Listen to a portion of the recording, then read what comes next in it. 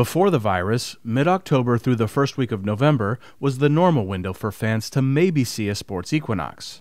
All four major professional leagues playing games on the same day was more rare than an actual equinox. No one talked about this being a sports equinox at all. I mean, it was all Diamondbacks. Game seven. Bruce Cooper is thinking back on November 4th, 2001, and the biggest baseball game he covered during more than three decades at Channel 12. In the ninth inning, the revered and respected sportscaster made his way down to near the third base dugout some of the media started coming down because you're, anticipating going onto the field if this happens, you know, if the uh, unusual, the unexpected happens. And so you're, you're there just waiting for that moment. And I didn't think it was going to come to fruition, but it did. Arizona won the World Series. The Diamondbacks, built by Jerry Colangelo, were only four years old, and they came back to defeat the Goliath Yankees, who had come to symbolize New York post 9 11. Bruce remembers the 10 p.m. newscast aimed to cover every angle of the D backs having just won Arizona's first major pro sports championship. We covered it from A to Z at the end of the sportscast. It was, oh, by the way, Suns, Coyotes, and Cardinals all lost today. Just, oh, by the way, mention them all three clumped together. The local hockey, football, and basketball teams having games too was simply backpage news, and it still would have been even if they'd won. I've done a little research myself, and I found out that Phoenix is the only city, the only city ever to take part in all four of those sports on that one particular date and time, the sports equinox. It's a credential big enough on its own to establish Metro Phoenix as a sports capital, and wrapped up inside is the most important victory in local sports history. But it was just one day. What gives this sports town even broader appeal is being the yearly site for more than a month of games, tournaments, and races. February is midseason for two of the major sports. Then comes the Phoenix Open, the Cactus League, and NASCAR. Bruce especially remembers this sports bonanza in 2015 when the Super Bowl was also in town. No doubt about it, that period of time, I'm like, this is crazy. We had media, uh, uh, NBC affiliates coming in all over the country. Everyone wanted to see if you could get them either Phoenix Suns, Arizona Coyotes, or the open tickets. Hey, hey, can you hook us up? Everyone wanted to do that. It, it was just insane. It was insane. March is always the peak. Spring breakers drive rental cars slowly on our asphalt jungle gym of freeways. You need a reservation to get a table at a restaurant. Sky Harbor sets passenger records as tourists head to and from resorts. It was all happening like normal this year. Then the virus hit, and basketball shut down first. Here's Business Channel CNBC. The NBA shocking the sports world last night. The game tonight has been postponed. You are all safe. In a flash, the Suns were done at the downtown Phoenix Arena. Hockey stopped the Coyotes' first playoff push out of Westgate Entertainment District in years. Fear of the virus forced Major League Baseball to empty all seats in our 10 spring training parks. The pandemic had swiftly tanked the national sports industry. TV personalities suddenly faced having no games to dissect or players to criticize. On the Fox show Undisputed, longtime sports journalist Skip Bayless talked about living in a sports bubble as the danger became clear. And all of a sudden, last night, my bubble got punctured and invaded by the realist of life. Basically, infected. Infected. It got infected. And it became live and death mm-hmm. last night, right before my very eyes.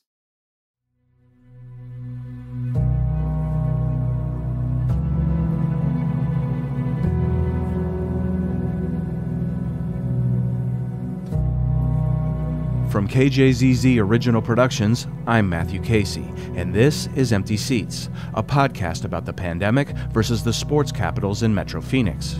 It was all games off for months after the virus first swept through the U.S., and though they've returned, it's still not safe for fans to fill the stands. In Chapter 3, we'll meet a stadium concessions manager who's been out of work since March, and we'll visit a homegrown special events company fighting to survive.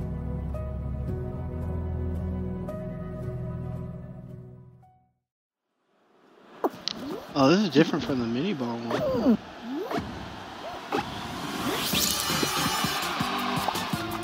Chris Baker plays Fall Guys Ultimate Knockout on a live stream via Twitch. The platform is a branch of Amazon that lets you watch video gamers do their thing on the internet. The green character, played by Chris, races against dozens of other online gamers to get through an obstacle course fast enough to make the next Battle Royale. Oh, that was the last one. Chris has had a lot more time to play video games this year. The pandemic shut down his other personal passion charity work that uses superhero cosplay to help children, cancer patients, abuse victims, first responders, and military families. Chris grew up on an Air Force post. Um, base brats and support them till my last dying breath. Military's everything for us. The virus made Chris's workspace unsafe too. He was a concessions supervisor for a company that's contracted to feed crowds of fans at Arizona State University athletic events. It's devastating. We stopped working on 310 of this year. I first talked to Chris in May. He was on a daily quest to talk with a real person at the State Economic Security Department about his unemployment claim. The money finally came. Arizona's meager payments were twice boosted by federal help. But that's over now, and Chris only gets $117 a week. 2020 is just a, hor- a horrible year. We just need to get to 2021, take a deep breath, and move forward. Going to school was Chris's goal when he first moved to Arizona about 20 years ago. He took a job at Olive Garden to get in state tuition. Ten years passed, and he was still waiting tables. Despite having learned all the different roles, Chris did not get a chance to be a manager. He found a new job at the TGI Fridays in Chase Field, where senior waitstaff had locks on the table sections where Diamondbacks fans want to sit on game day. You get started in this back room that didn't have views of the field and stuff, so it, you didn't you didn't last there very long unless you could stick it out past that. Another ballpark restaurant job didn't work out for Chris either. He really wanted a change from relying on tips, a word that some say stands for to ensure prompt or proper service. But a good tip, 20% or more of a total bill, for good service is not guaranteed. Certain restaurants make servers tell the government how much they made in tips based on their sales. So bad tips can mean that someone like Chris had to pay taxes on money he didn't actually make. These are the things that we deal with as a server. You know, it's, it's like gambling. It's like gambling with your pay. Doing charity work had helped Chris figure out he wanted to become an event coordinator, but first he had to get experience. So I figured working as a supervisor and working in um, stadiums and in events would help to justify that that transition. He took a job as a fast food restaurant manager, and he got hired by the ASU athletics contractor, which he'd heard about from a concessions manager he met while working at Chase Field. Sta- stadium work is hugely different than you know uh, a bar or in a restaurant. Chris spent the first season working in the kitchen and washing dishes. He earned a chance to supervise one concession stand. Then he rose to oversee all of the concessions on one side of Sun Devil Stadium.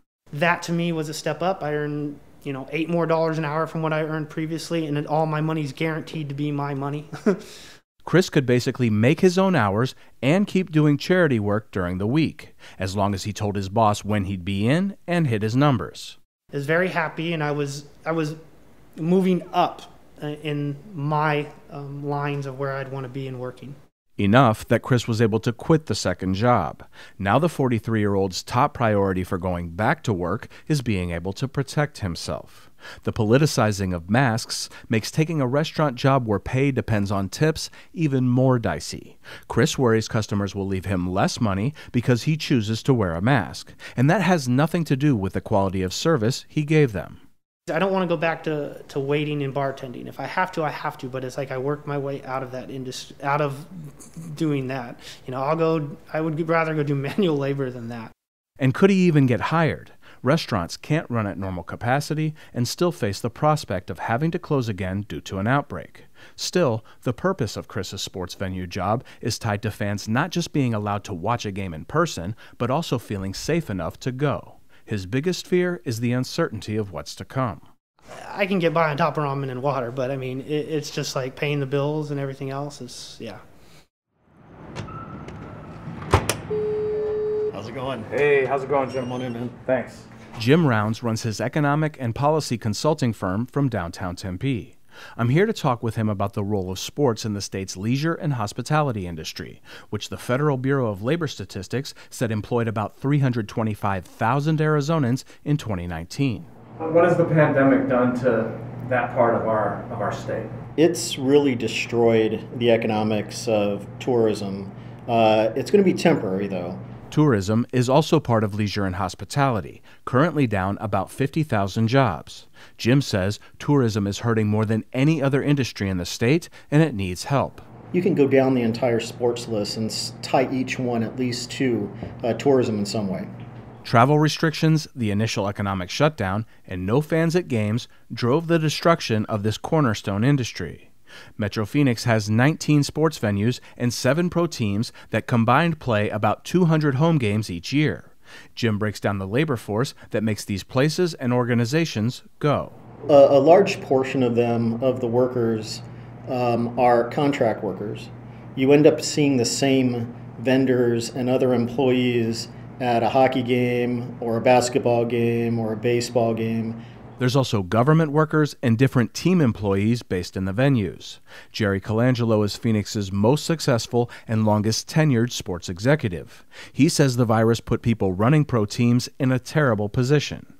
In addition to the players themselves, these bosses have lots of full and part time employees working for them. Billions and billions of dollars have been lost forever. Now, what happens in the future? It's, it remains to be seen. We don't know. Colangelo says leagues have resumed games without fans because there are big TV contracts with a lot of money on the line. That's why it's so important before there's any further collapse to our economy. And here we're talking sports, but I'm talking about business across the board. When everyone is taking such a hit and jobs are lost and incomes are gone and profits dwindle to nothing, um, you know, at the end of the day, what, what's left? There is a real job to be done in rebuilding our uh, economy because we've taken a major, major hit and we won't see a recovery for years. Jim the Economist forecasts that Arizona can recover jobs lost to the pandemic by the end of next year, but he warns that getting back those 50,000 leisure and hospitality jobs might lag into 2022. He says the sooner the crowds come back, the sooner there will be demand for the contract employees who work at sports venues. Unfortunately, they're making minimum wage, which, even if you're working full time, will not help your family. Of those 50,000 jobs we've lost, do you have an idea how many of those are these contract workers? I think that it's a smaller percentage, uh, only because we have a very large tourism industry in the state. But it almost doesn't matter if it's a small percentage because it's still a number of people that are in need of help. Jim believes hospitality and leisure can bounce back faster in Arizona if the state pumps up to $20 million into the tourism industry over the next two years. He believes the money would help keep people in business and recapture pent up demand for travel. Then, when it's safe, Arizonans would be excited to explore their home state again, and outsiders would come here to do things like watch sporting events in person. So, if we can get more people to come back, and we have larger crowds, once we get through the COVID issue, of course, larger crowds uh, sooner than later, then there'll be demand for these workers.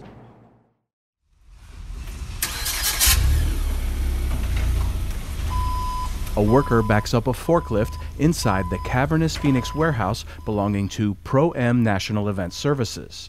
Brady Castro owns part of the company. It's a quarter million square feet. Uh, we house pretty much everything that we own here on property.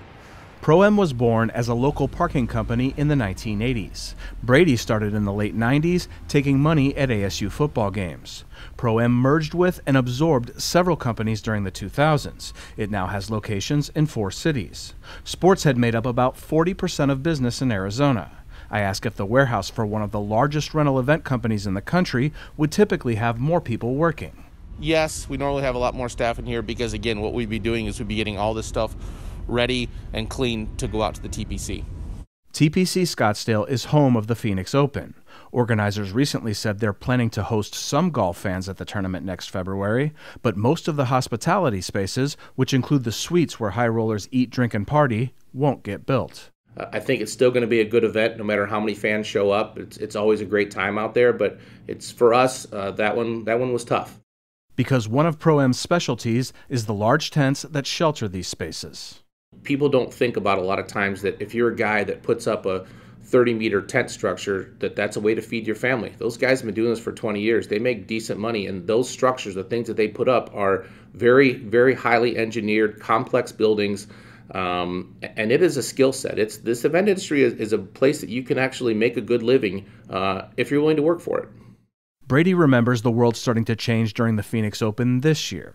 You know, there was I'm going to call even rumblings about a virus and in China and this and that, and I don't think any of us thought even twice about it. And then as then as it really kind of exploded and started going all across Europe and across the country and got into America, and I think the first big wake up for us was when spring training canceled. Other events fell like dominoes, and Pro-Am's business dropped 90% from last year, Brady says. One approach to the crisis has been for companies to cut operations down to the bone just to keep the lights on. Pro-Am considered this, but ultimately decided to try and keep its core group so it can be ready to do large-scale jobs when they come back. Pro-Am sought a federal Paycheck Protection Program loan and has done events it could find, like COVID-19 testing sites. We did have to do some furloughs, we did have to do some layoffs, some other cost cutting measures, but really, I think our investor group, you know, and kudos to them, is behind us. I know a lot of people don't have that luxury and understand that this is a long play. How long partly depends on establishing what sort of liability a company like Pro-Am would face if fans are allowed back into sports venues and someone gets sick. Brady says there's a lack of clarity on that issue and the nature of the virus itself. We're going to be the last to open. You know, after everybody else is back, I think then large scale special events, the Coachellas, the Lollapaloozas, the football at 100% capacity, the things that really move the needle for us will come back. Brady still fears that it may never happen or it will take longer than anybody thinks. Chatter among industry peers is the comeback could start during the second quarter of 2021. So that's what he's hoping for. For us, Pro Am, uh, getting events and getting sports back is huge. And I know for our economy as a whole, it's it's the hotels and the rental cars and the restaurant workers and the bartenders and the everybody else. It's it's critical for this to come back because Arizona is such a tourism hospitality based economy.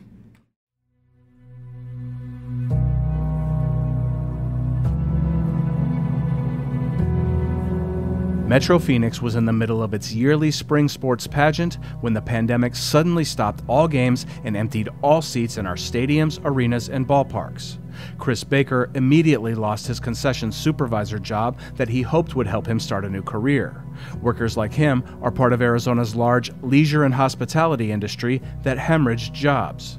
And a homegrown special events company that got a big chunk of its work through live sports saw its business drop by 90% from last year. In Chapter 4, we'll visit the Valley's sports capitals, where even though games have restarted, the fans remain mostly exiled. For KJZZ Original Productions, I'm Matthew Casey.